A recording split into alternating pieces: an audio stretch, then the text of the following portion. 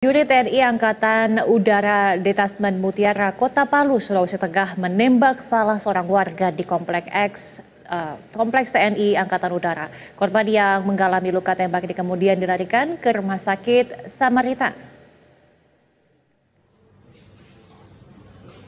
Penembakan ini berawal saat korban bersama dengan dua rekannya yang berprofesi sebagai pemulung hendak masuk ke komplek perumahan TNI Angkatan Udara di Tasman Mutiara, Kota Palu, Sulawesi Tengah untuk mencari kardus dan botol bekas air mineral.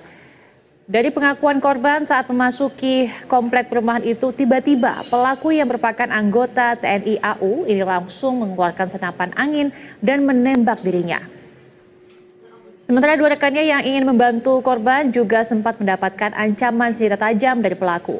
Usai kejadian, korban dilarikan ke rumah sakit Samaritan oleh polisi untuk mendapatkan pertolongan medis.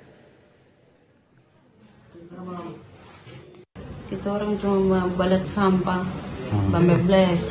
Oh. Terus kawan-kawan anjing itu keluar dia, dia langsung dia tembak saya.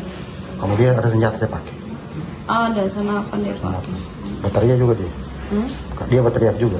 Iya dia bilang kita pencuri padahal tidak ada yang keterangan ada.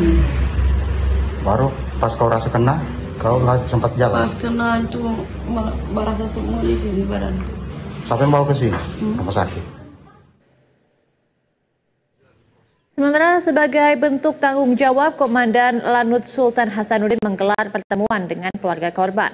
Pihaknya menegaskan menanggung seluruh biaya pengobatan korban penembakan senapan angin yang dilakukan oleh anggota Detasmen TNI AU Mutiara Palu, serta akan memberikan santunan untuk membantu biaya hidup sehari-hari bagi keluarga korban.